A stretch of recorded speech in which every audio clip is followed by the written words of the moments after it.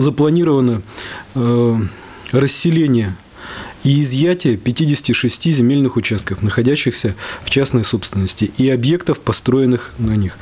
Но это изъятие предполагает рыночную компенсацию. То есть на момент изъятия производится рыночная оценка объектов, и в соответствии с нормами законодательства из городского бюджета производится полная компенсация э, собственников этих земельных участков и построек. Там не только, кстати, жилые дома, там есть и хозяйственные постройки. Мы зарезервировали эти участки, они обременены.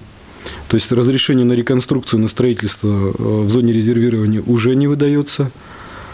Э, кроме того, необходимо еще произвести вынос коммуникаций.